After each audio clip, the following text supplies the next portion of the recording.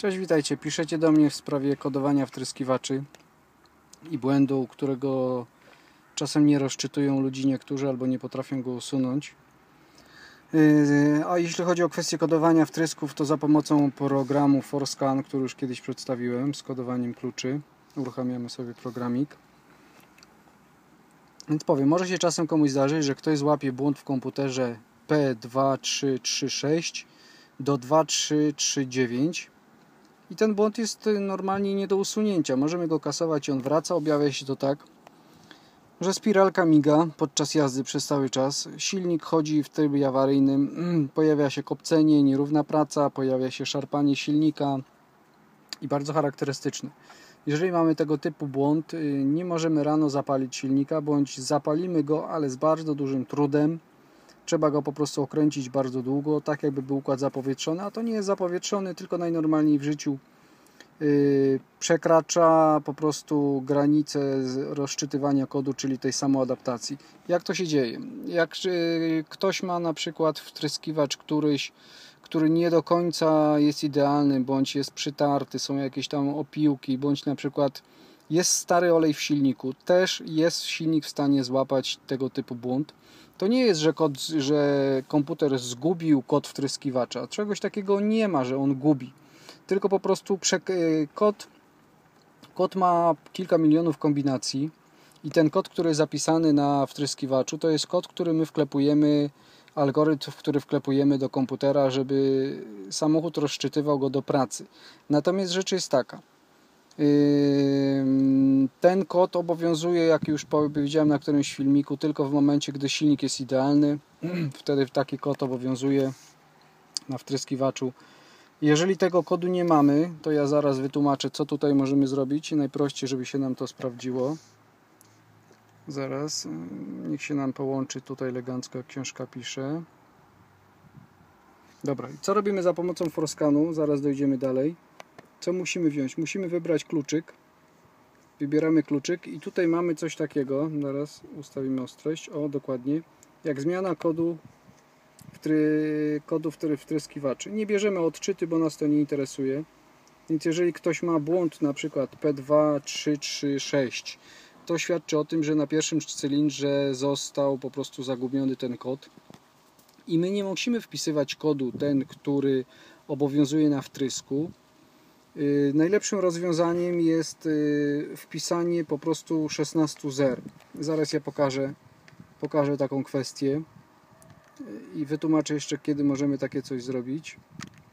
Zaraz mamy zatwierdzone i tutaj na dole sobie musimy zaznaczyć, o dokładnie tutaj, puścimy procedurę i tak dalej, i tak dalej. Komputer nas tłumaczy co mamy robić dalej, czyli mamy wyłączyć komputer, wyłączamy komputer, znaczy nie komputer, tylko silnik, zapłon, dokładnie, bo silnik musi być zgaszony do wpisywania kodów wtryskiwaczy.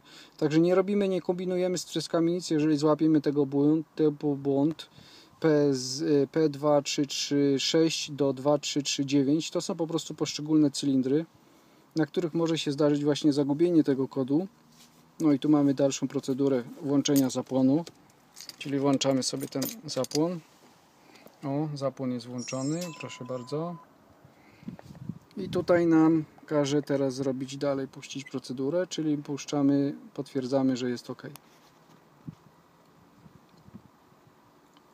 Jeżeli ktoś ma efekt taki, że na przykład samochód mu z czasem zaczął kopcić, bądź na przykład jest klekotanie tego silnika w dosyć dużej mierze i ten silnik sobie nie radzi, bo zapisał sobie już jakąś tam adaptację i nie przechodzi w tryb adaptacji, to najlepiej zrobić jest coś takiego, że wykasować wszystkie wtryski. Mamy jeszcze raz wyłączenie zapłonu, czyli jeszcze raz wyłączamy zapłon. Musimy to potwierdzić. O. Najlepiej jest wykasować te wtryski i w rubrykach, tutaj gdzie są rubryki do wpisania, wpisać po prostu same zera.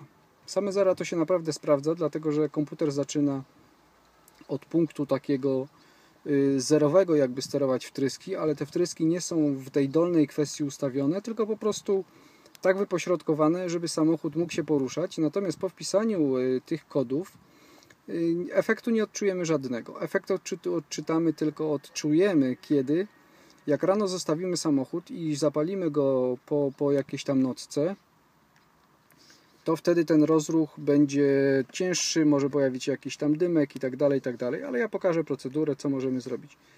Więc wpisujemy sobie same zera. Bez względu na to, co byśmy mieli. Proszę bardzo.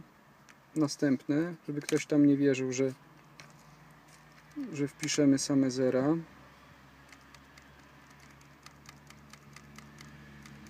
Wtedy, jeżeli ktoś ma efekt właśnie tego poszarpywania silnika, bądź może takiego bardziej klepania, czyli te wtryski zostały źle zaadoptowane, to wtedy możemy sobie wpisując same zera wyczyścić po prostu w rejestrach te kody, które są i silnik zaczyna nam od zera przypisywać sobie kody wtryskiwaczy i sprawdza się to naprawdę ładnie. Pierwsza, pierwsza jest tylko cięższa taka sprawa przy rozruchu pierwszym jego rano, ale później on sobie zapisze, coś tam klepnie, o tu gdzieś tam jedno zero gdzieś tam się nie dopisało.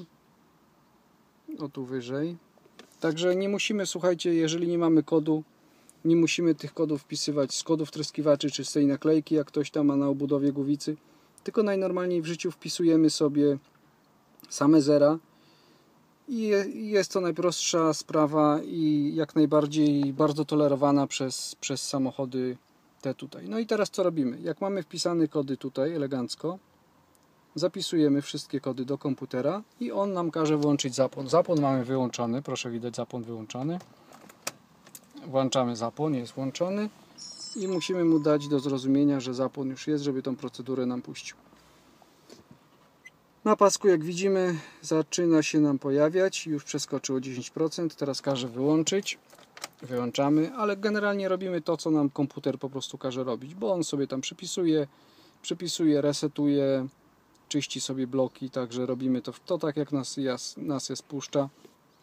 Także słuchajcie, naprawdę z kodami wtryskiwaczy, tu już mamy wyraźnie napisane, wtryski 1, 2, 3, 4 są zakodowane pomyślnie, on w tym, musi, w tym momencie musi to przetrawić, na pasku leci nam 70%, no i włączamy zapłon, puszczamy go. Bardzo wygodnie się robi tym programem, jeżeli ktoś ma nawet licencję taką, taką free, która jest tylko udostępniona. Ja mam interfejsik prosty, jak już gdzieś tam puszczałem, tego typu tutaj. Sprawdza się do Podoforda do, do rocznika 2019. Także słuchajcie, kodowanie jest proste. Jak ktoś ma ten błąd, naprawdę nie szukajmy dziury w całym tylko najnormalniej w życiu. Wklepmy same zera, nawet i we wszystkich wtryskiwaczach, bądź w tym, który nam narzuca kod. Jeżeli jest to na przykład tam powiedzmy 2339, no to wiemy, że na czwartym cylindrze. I wtedy możemy tylko i wyłącznie czwarty cylinder przepisać, resztę nie ruszamy wcale i samochód najnormalniej w życiu zaczyna pracować. Ale mówię, czasem się zdarzy tak, że komuś, y, tak jak przysłowiowo, jak to mówią, że zagubił kod wtryskiwacza. On go nie zagubił, to nie jest tak, że, że komputer gubi tą pamięć. Puszczamy sobie elegancko i on, gdybyśmy chcieli drugi raz, to on puści nam drugi raz.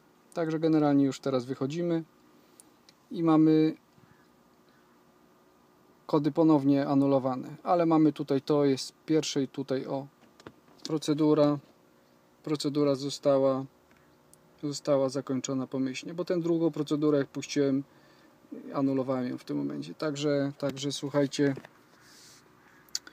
jeżeli komuś się zaświeci jeden z błędów, nie musi w wszystkich wtryskiwaczy wpisywać zer, ale jeżeli wpiszę sobie same zera, to sami zauważycie, że po jednym dniu jazdy ten samochód zaczyna lepiej chodzić, ładniej chodzić. Nawet powiem Wam, sytuację tego typu przerabiałem że po wpisywaniu wtrys y, kodów wszystkich oryginalnych, te, które są na nalepce, samochód co prawda stał się bardziej żwawy, bardziej mocniejszy, dynamiczny, ale pojawiło się zadymienie z tyłu. No i żeby wyeliminować to zadymienie, po prostu co? Usunąłem kody wtryskiwaczy, które są przypisane pod te większe dawki. Przypisałem mu same zera, żeby sobie zaczął sam przypisywać i najnormalniej w życiu to zadymienie zniknęło z tego względu, że czujnik stukowy sugerował się tym, że on musi od podstaw sobie te wtryski przyuczyć i sobie przyuczał od tak jakby tej mniejszej dawki do większej. Jak silnik już przestał pod, y, szarpać i ta praca się wyrównała, to najnormalniej w życiu zakończył samoadaptację, mimo że sobie korekcje tam za jakiś czas robi. Także słuchajcie, jak się komuś filmik przydał, y, włączajcie subskrypcję, ja będę naprawdę do tych filmików dodawał różnych, jak tam będziecie potrzebowali jakieś pytania, staram się odpowiadać w miarę możliwości. Nie każdemu odpowiadam, bo nie zawsze mam czas, musicie mnie zrozumieć. A jak się podobał filmik, łapka w górę. No i co, dajcie motywację do, do nakręcenia czegoś więcej. Jak potrzebujecie jakieś tam problemy macie z, z pojazdami Forda, piszcie śmiało, zrobimy doktorat następny i będziemy wszystko mieli wyprostowane. Także pozdrawiam jeszcze raz, dzięki, do zobaczenia.